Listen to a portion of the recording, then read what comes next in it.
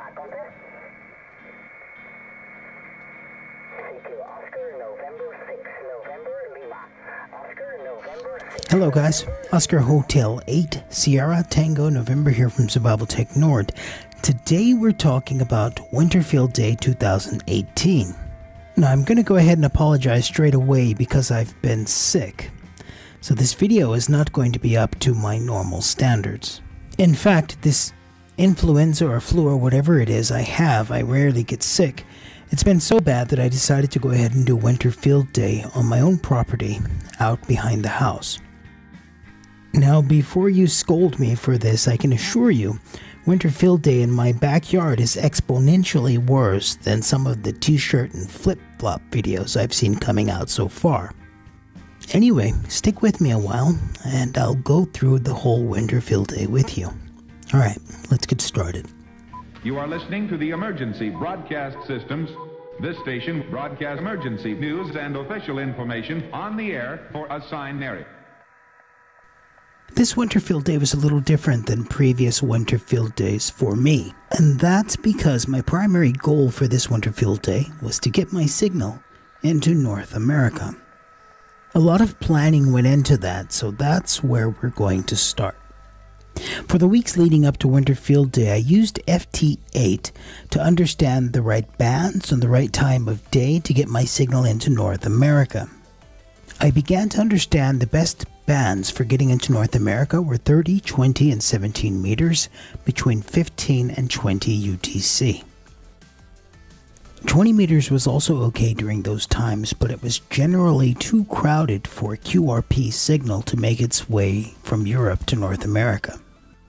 Sometimes we get some unexpected benefits when doing the preparation work, and I found out that it's actually quite simple for me to get into South Korea and Japan although it's further away than North America.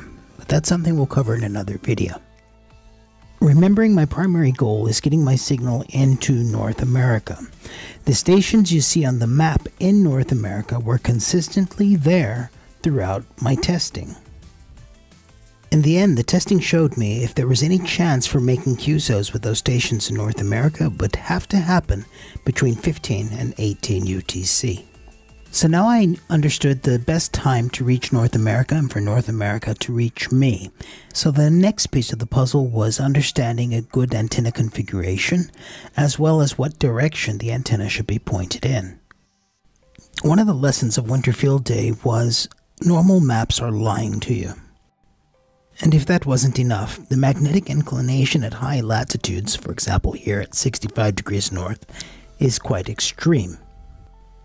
So a special shout out to Bonnie, Kilo Quebec 6 X-Ray Alpha, and John, November 0 Joliet Delta Sierra, for helping me sort through those two problems. So with all the testing done and gear ready, John, November 0 Joliet Delta Sierra, and myself decided we would try station-to-station contacts between Finland and the heartland of the United States. That didn't quite work out as we planned, but let's come back to that later. If you're operating Winterfield Day in a winter climate, the two most important things you'll want to cover before anything else are heat and shelter. When we're talking about extended field communications in a winter environment, the only two things keeping you and your gear up and running are heat and shelter. So I take the time to put up my shelter and get my stove going before I ever touch my radio gear. Once I've got the wood stove up and running and the teepee is getting hot, at that point I go out and I set up my antennas. This way, if I get my hands cold or I have some sort of mishap, I can always come back into the teepee to warm up.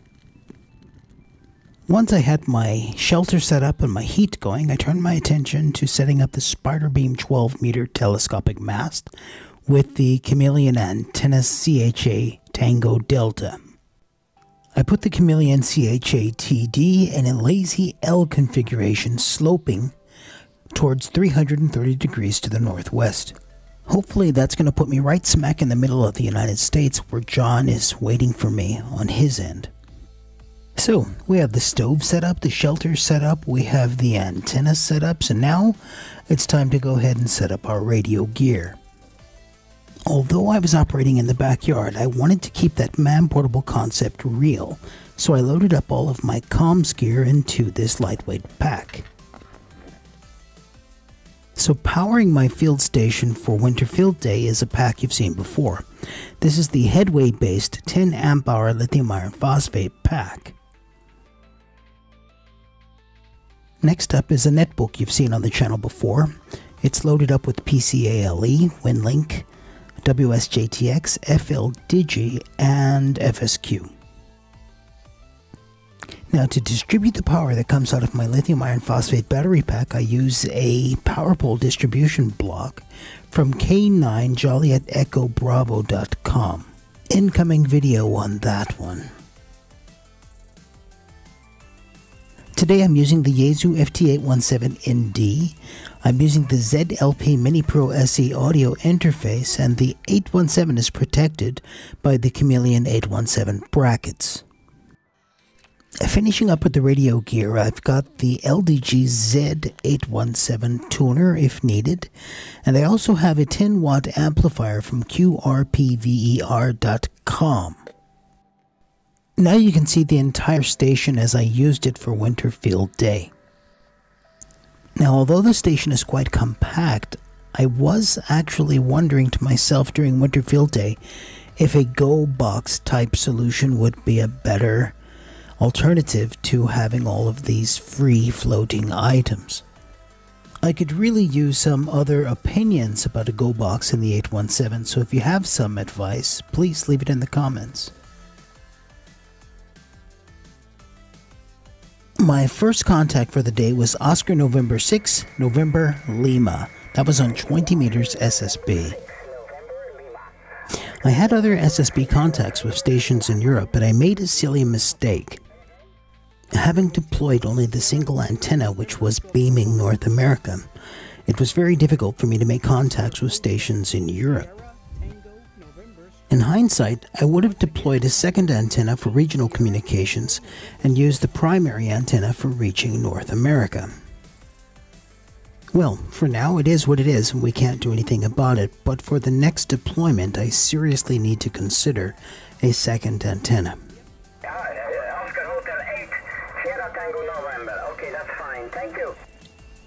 In addition to using phone for regional communications, I also used WinLink to keep in touch with John and other operators in North America. In this scenario, WinLink acted as a bridge between operators who didn't have propagation between one another. Continuing on with digital modes, I also used FT8 to make contacts with operators in Europe, Scandinavia, uh, and Iceland. Now, FT8 wasn't a recognized mode for Winter Field Day, and that's fine. I used FT8 for testing propagation and my signal reach. But don't worry, I won't be submitting any logs with FT8 contacts to the Winter Field Day organization. Finally, that brings me to my buddy John, November 0 Joliet Delta Sierra. So we didn't actually achieve that contact between Finland and North America, but not for a lack of trying. We're definitely going to attempt this again in a few weeks. John mentioned he's going to put out his after action report in the Portable Digital and QRP group on Facebook, so don't forget to check that out. Now let's take a moment to go over the lessons learned during Winterfield Day 2018. Number one on my list is dual antennas for both regional comms and DX. Number two on my list is placing more emphasis on the winter field communications aspect of Winter Field Day rather than focusing on the points in a contest. Number three is something I'm kind of struggling with, and that's the idea of building a lightweight, form fitting Go box for my radio equipment. You see, I believe one of the ways to reduce operator fatigue and limit station problems is by having everything already integrated into a Go box. We're definitely going to come back to this topic on the channel. Number four is more of an observation, and that is for low power stations, WARC bands offer better opportunities for QRP skeds or coordinated contacts. Number five on my list was an observation, and that was modes like FSQ or HF, APRS, other utility modes would have been magnificent to use connecting these portable field stations to one another. Finally, the sixth and last thing on my list is an observation, and that is the all weather solar powered field station is actually working so it'll be time to plan some multi day excursions with the field station soon. Now, a couple of announcements before I close down this video. YouTube is a great platform, but it's increasingly more difficult for small content creators to build a following on their channels. So here are three channels who I'd like to help push over a thousand subscribers. So, the first channel is Victor Alpha 3 Oscar Sierra Oscar, that's Carson. The second channel is Stuart, Kilo Bravo 1, Hotel Quebec Sierra. And the third channel is Paul, Victor Echo 3, Echo Foxtrot, Quebec. All I'm asking you to do is subscribe to their channels and share their channels with other ham radio operators. If you don't like them, you can unsubscribe later, but I'm sure that you will. And I promise this is the last time you'll have to hear about this, but the GoFundMe campaign was successful, and all of you who contributed in whatever way you could, you are absolutely magnificent. Thank you. The FT891 is on the way, and I'll do an unboxing video and breakdown of it as soon as it arrives. To be honest, and just keeping it real for a second, I don't know why you all are so good to me, but I appreciate it the one thing we can absolutely be certain of is we will keep pushing forward together on this channel. Let's leave it there. Rock and roll, guys. 73. Ciao.